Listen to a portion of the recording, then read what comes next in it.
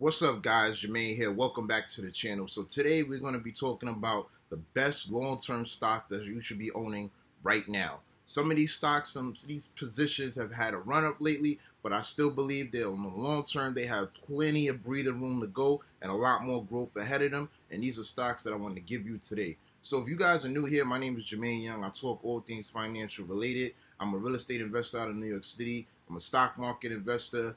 I uh, talk all things about credit cards and little ways that I do to make extra money on the side to help you guys make extra money too. So this is content that you like. Subscribe to the channel. Greatly appreciate to have you here with me. So let's get right into it. And it's the first stock here. All right, the first stock we have here is Figs. Tick, ticker symbol F-I-G-S. Sounds just likely what um, the ticker symbol is. And right now it's trading $43.62 per share. As you see here on the year-to-date chart, it did have a run-up um, on the year on the year-to-date. Last year around this time was around 30 something dollars a share. We are around 43. I do believe this stock is going to have plenty more room to run. Right now, the stock has a market cap of $6 billion. It doesn't pay a dividend. There's no dividend yield on this. Now, Figs is a direct-to-consumer healthcare apparel uh, lifestyle company, but is the largest in its space as far as direct-to-consumer healthcare. So this is a stock that I believe in the long term is going to do well, and I think it's something that should be bought and held now. But like I always tell you guys, do your research when you're buying any of these stocks that I'll talk about, and you know, investing, you're investing on your own terms. So let me give you the second stock here that I have on this list of long-term investments that should be bought now.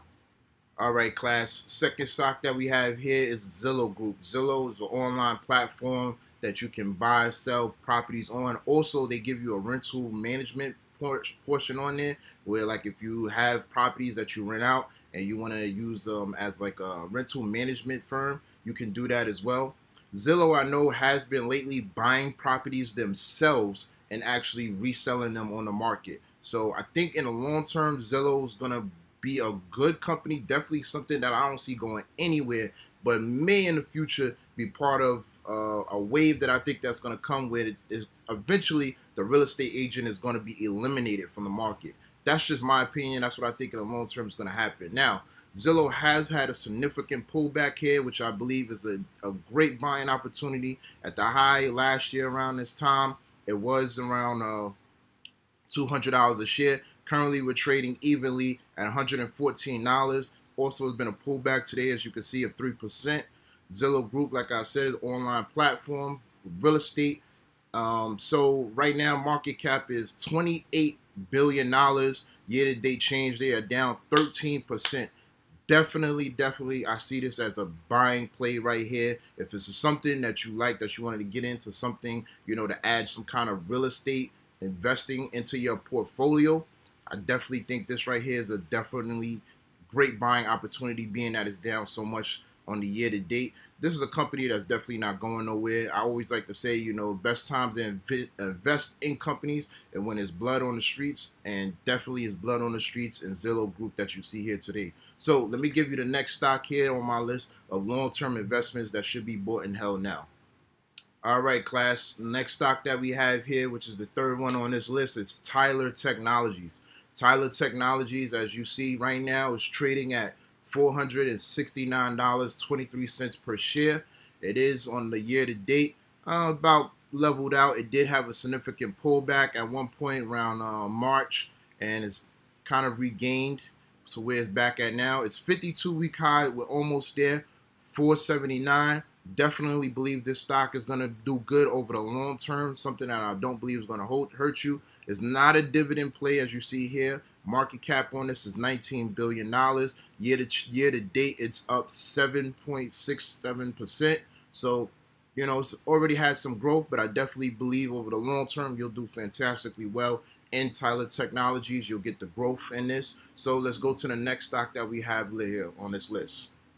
Okay, next one we have on this list here is PayPal Holdings, the OG of sending money securely this is one of the first in the game. And I think over the long term, definitely going to be here. Definitely something that's not going anywhere. And I definitely see way more growth potential in this stock, especially being that they're getting into the crypto space. So we're kind of waiting to see what's going to happen with them if they're going to actually create their own crypto wallets for customers to have, but definitely, definitely not anything that's going anywhere. As you probably have noticed or not noticed, a lot more retailers actually in the checkout section on their pages have like you know the uh, secure checkout ways where it's usually like a um, the credit card where you can put in that, or you can put in PayPal. So just in case if you don't want to give like your credit card information to so many different sites, you can use a pass-through way, and that's PayPal. PayPal, that's where it comes in at. Also sending money to individuals, PayPal.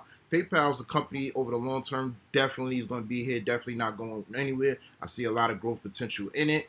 Now on the year to date, it's about leveled out, but as you can see from the beginning of the year, it has had a run up here. Right now, currently it's trading at $293 per share. It's down a little over 1% on this day, the time of recording this. Market capitalization, $344 billion. This is by means no small company. So far on the year to date, it's up 25% on this. Not a dividend play, but definitely a growth stock that I can see definitely going somewhere with it. So let's give you the next one here on this list.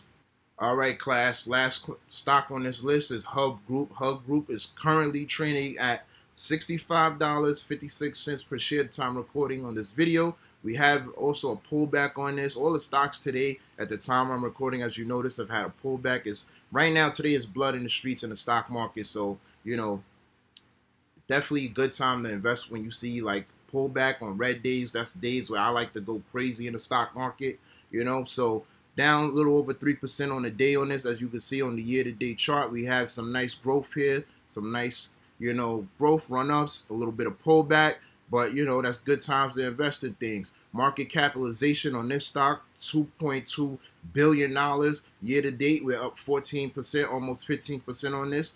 Definitely something I believe that, you know, plenty of growth in the long term, something that you can't lose in. All right, guys, so that's my list of the best long-term stocks to own right now. Let me know in the comment section what you guys think. Is it stocks that you own, stocks that you plan on owning? i love to hear from you guys. If you're not subscribed to the channel, as always, subscribe to the channel. Give this video a thumbs up. Greatly appreciate it. If you want to follow me on Instagram, my Instagram handle is Real Jermaine Young, simply just because there's a lot of fakes out there. And thanks for watching, as always. Until next time, peace.